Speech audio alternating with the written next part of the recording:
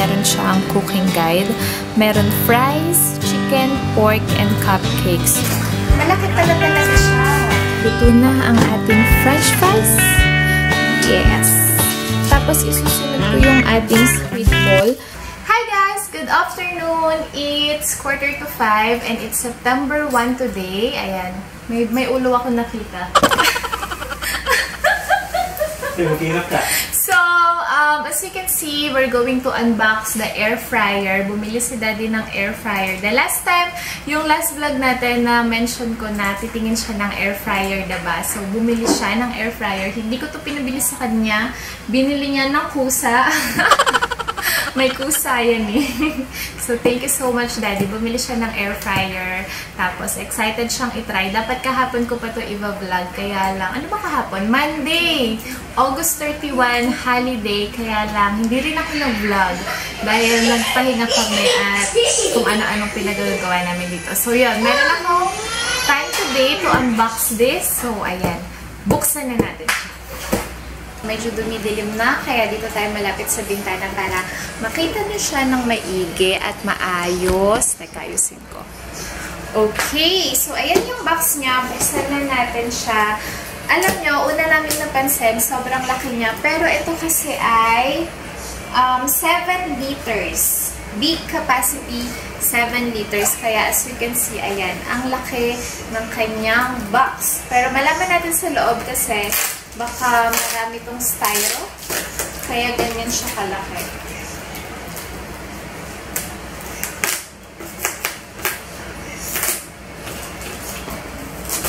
Okay. So, meron tayo ditong manual. Sabi niya, air fryer model number KW3815. Tapos, ayan, meron siyang mga instruction. Mamaya ipapakita ko sa inyo. Ayan yung mga parts and description niya. So, tignan natin to ngayon. As I mentioned, ayan, meron siyang styro. Pero, malaki pala talaga siya. Daddy, I need help. yeah. No, it's okay. Thank you. Ito siya. Ganyan siya kalaki, guys. Ang laki niya, no? Ang laki niya. Ang feature ng air fryer um, Kiowa brand na to, sabi niya, multifunction, pang-bake, roast, and fry. 7 liters capacity, large non-stick coated food basket. So, non-stick daw tong um, food basket na to. 360 degree air circulation, up to 200 degree rotary temperature control, uses little to no oil for, for, for healthier cooking. So, kapag magluluto ka, gamit mo to, pwede daw uses little, konting mantika lang, or no oil at all, para daw healthy living. With residue collector for mess-free cooking. Ah, okay. Meron daw siyang residue collector. So, yun. Yun lang naman yung nasa box niya. And let's see. Tignan natin itong mismo air fryer. Wait a minute. Ayun! Ayan, binalik ko siya para mapakita ko sa inyo kung paano siya hihilahin. So, ganyan lang. Ganyan lang siya. Tapos, ayan, natatanggal talaga siya as in tanggal na tanggal. According to manual, ito yung basket, guys. Tapos, natatanggal pala to kasi ito yung pinaka-frying tray natin. Meron ditong button, ba diba? Ayan, pipindutin mo siya. Pag napindot mo siya, teka, nakahawak ko kasi yung isang camera. Ayan. So, pag pindot mo sa kanya, pwede mo na tong iangat. Ito yung pinaka-basket. Ayan. Tapos, ito yung tinatawag na frying tray. Ito yung ibabaw ng ating frying pan. Nakalagay syempre yung brand nila. And meron tayong indicator light. Tapos, nandito rin yung ating temperature control. Ayan. At yung ating timer knob. Ayan. Sa likod, nandun ang vent window. Ito. Vent window. And power cord. Ayan. Siyempre, yung power cord. Meron siyang cooking guide. Meron fries, chicken, pork, and cupcakes. So, for 500 grams, 20 minutes sa fries. um, ilalagay mo siya sa 200 Celsius. Shake half well cooking time. So, pag nakalahati na yung oras, pwede mong i-shake yung um, or haluin yung fries mo. Kapag chicken naman daw, 1,200 grams or yung buong chicken, set mo siya ng 60 minutes tapos, 180 Celsius. Turn halfway cooking time. So, babalik rin mo siya kapag kalahati na yung oras. Sa pork, merong 30 minutes. Ilalagay mo sa 180 Celsius. Babalik rin mo din siya. Then, dahil nga pwede din siya for baking, ayan, cupcake, 12 to 15 minutes for 160 Celsius. Ayan, bongga. Yung mga ibang food na wala dito, like hotdog, ayan, siguro pwede nyo siyang ilapit sa mga ganito, sa fries. 20 minutes for 200 Celsius. Ganyan.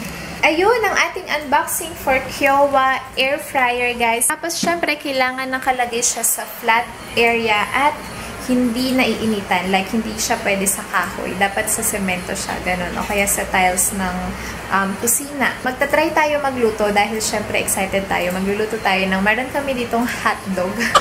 At saka french fries. Magluluto tayo dahil 5 o'clock na it's merienda time. Pero again, bago yon hugasan ko muna tong dalawang to. Ayan, nahugasan ko na siya. Tutuyuin ko lang. Tapos, isa-set up natin doon sa kusina.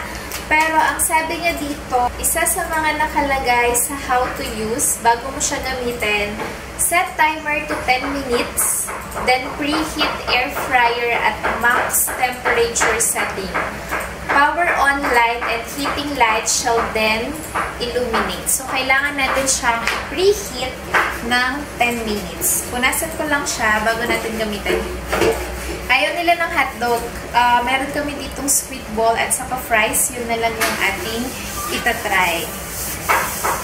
So, yung fries, di ba nakita nyo, meron tayong um, instruction kung ilan yung timer saka uh, temperature. So, yung sweet ball, i-cook.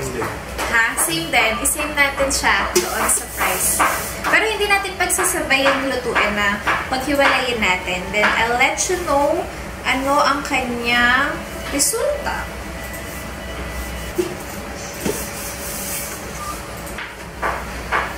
Ayusin ko yung kusina. Lalagyan ko ng space para dito. Kasi as you can see, medyo bulky siya, no? Alam nyo, merong mas maliit dito eh. Ilang liters mahal yung nakita mo?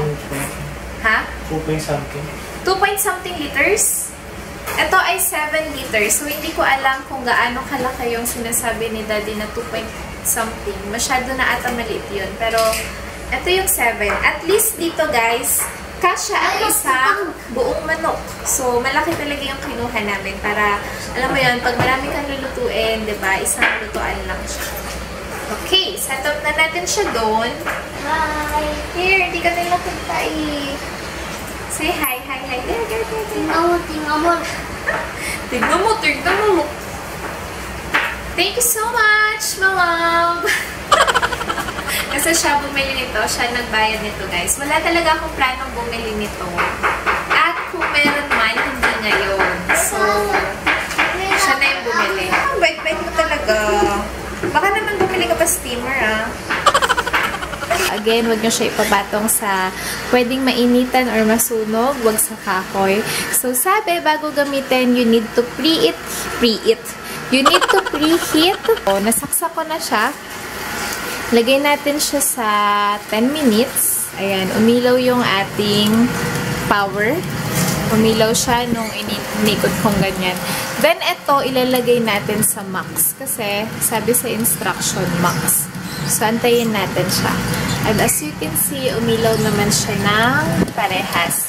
So, working yung ating item, diba? Hindi tayo naloko. So, binili namin to guys sa Lazada, sa Kiowa brand. Ayan. Tapos, ilalagay natin yung ating, unahin ko yung french fries. Ayaw nila ng hotdog. Ito sana yung itatry natin, no? Hungarian sausage, chu-chu-chu-chu. Pero mag-french fries na lang tayo. Mas gusto nila ang fries at itong um, squid ball. Ayan. Pero unahin natin yung french fries. Medyo meron siyang konting sounds. Parang umuubong siya ng very light lang naman. So, antayin natin matapos yung timer. Tapos na yung ating preheating ng 10 minutes. So, ngayon, ready na nating ilagay yung ay, blur. Yung french fries natin. Ayan. Okay. Kailangan nyo lang maging careful kasi syempre, mainit yung singaw. Tapos, wag nyo ididikit yung kamay nyo dito dahil syempre, mainit siya. Yan, ilalagay natin siya. Dahil non-stick yan, guys. Dapat ang gagamitin nyo ring mga sandok kapag i-arrange nyo yung food or hahaluin nyo yung mga ganito din, yung mga non-stick, non-stick na sandok din. So, according to our manual, ang french fries, 200 grams ay 20 minutes for 200 Celsius. Pero hindi ko kasi alam kung 200 grams to. Kaya lang, lagay pa rin natin siya sa mga 20 minutes din, no? So, lagay natin ganyan. Ito, hindi masyadong mainit. Pero, hindi pala, joke lang. Mainit din pala. So, masara na natin siya ng maayos. Ilagay natin siya sa 20 minutes. Tapos, ilagay natin siya sa 200 Celsius. Okay. Tapos, tutunog siya. Kanina nung natapos na yung timer niya, tumunog siya. Kaya, maririnig mo naman kapag tapos na siya. Pero medyo matagal din kasi 20 minutes. Naka 10 minutes na. Sabi sa manual, ba diba, kapag kalahati na yung oras, ibalik-balik. Pwedeng, depende sa pagkain, kung manok siya, babalik ta rin nyo siya. Pero dahil french fries yung sa atin, um, hahaluin ko lang siya. Okay? Ayan. As you can see, medyo-medyo luto na siya. Pero konti pa. Kasi hindi pa siya ganun ka-crispy. Yan, haluin ko lang din siya. Tapos, pag, pag tinanggal nyo kasi siya, automatic na siyang mamamatay.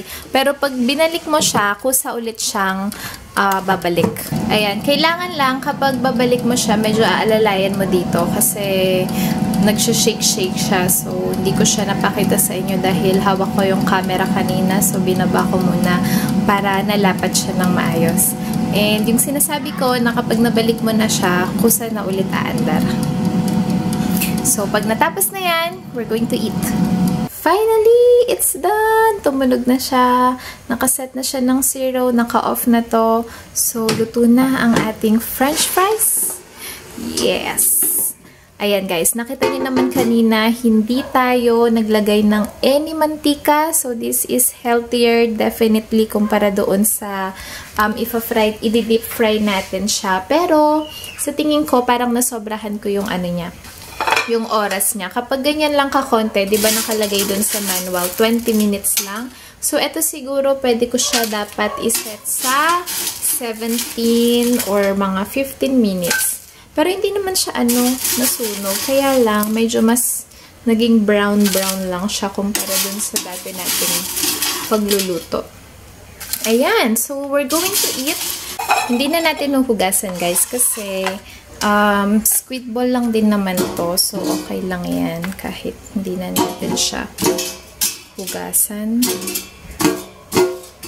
Kaya lang paghiwa-hiwalayin lang natin.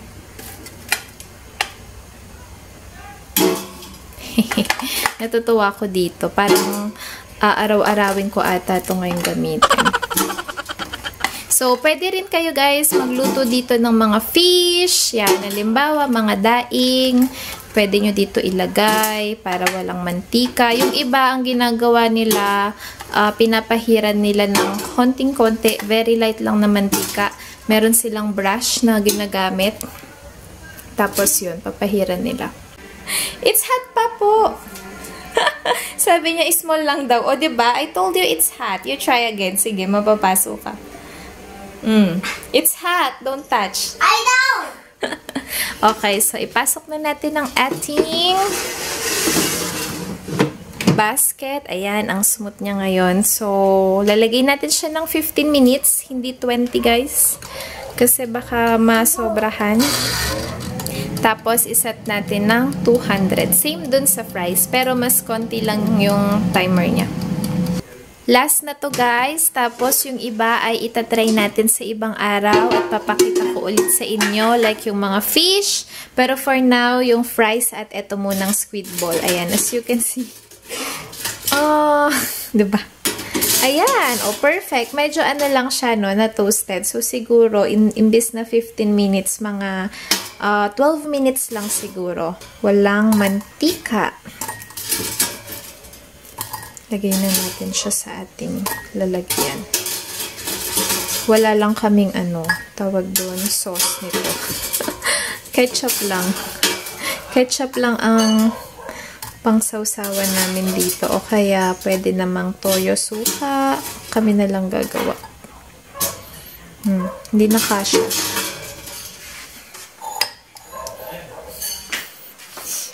Here's your squid ball! Ito yung sasawan. Kakasabi ko nga lang, wala tayong sausawan. Ano yung sasawan? wala tayong sausawan. Teka lang, meron pa ako doon kukunin. Here's your second batch. oh, wala tayong sausawan, ha? Ketchup na lang. Aray ko, mainit. Ang tigas! Ang tigas naman ito. Tigas? Hindi, crunchy lang. Ah. Ah, ang inat. Tigas. Tigas nga lang kumbaga. no? Matigas yung labas. Kaya dapat yun kainin hanggat mainit. Hmm. Kulang na lang sausawan.